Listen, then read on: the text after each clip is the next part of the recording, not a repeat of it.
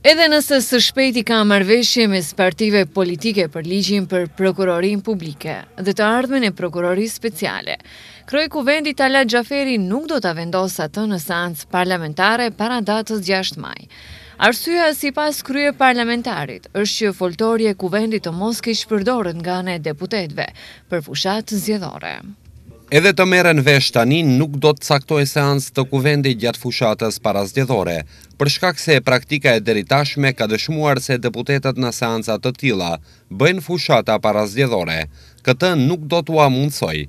Po ua lë këtë periudhë le të kontaktojnë, le të merren vesh dhe le t'i tejkalojnë dallimet për Prokurorinë Speciale Publike, tha Talat Xhaferi, kryetar i Kuvendit të Republikës së Maqedonisë së Veriut.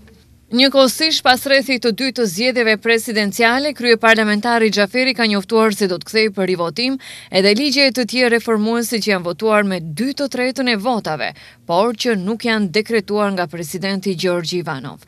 Ligjërisht, Kuvendi nuk ka pengesë të punojë edhe gjatë fushatës së zgjedhjeve presidenciale, por, sipas praktikës, shmanget aktiviteti i deputetëve të cilët mund ta shfrytëzojnë atë si pjesë e fushatës për kandidatin që mbështesin.